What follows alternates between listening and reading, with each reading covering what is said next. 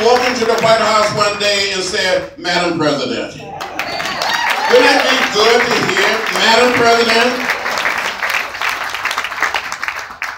Debbie, you walk in there, and Hillary would say, thank you. And we always say thank you because we love you. We know how hard and long you've been working to make our country a better country. You didn't come and sit down on the floor and occupy the well of the house just to take a seat. We were trying to send a message to do something about gun violence. We're losing too many of our children, too many of our young people, too many of our senior citizens to gun violence. And we can do better as a nation and as a people.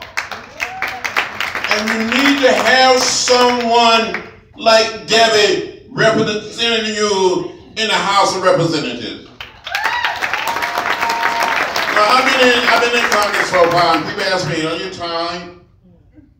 I would never get tired. Are you weary? I would never get weary. I have some young staffers, and they cannot keep up with me. So no one is going to outwork Debbie. No one is going to outwork me.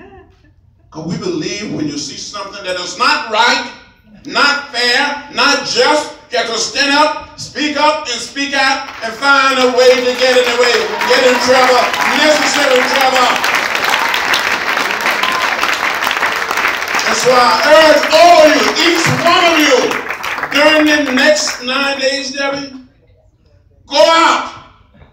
Do what you must do. Work, work, and fight, and fight the good fight. I was beaten and left bloody, almost died on that bridge in Selma. Got arrested 40 times during the 60s. Been arrested five more times during since I've been in Congress. I'm Probably going to get arrested again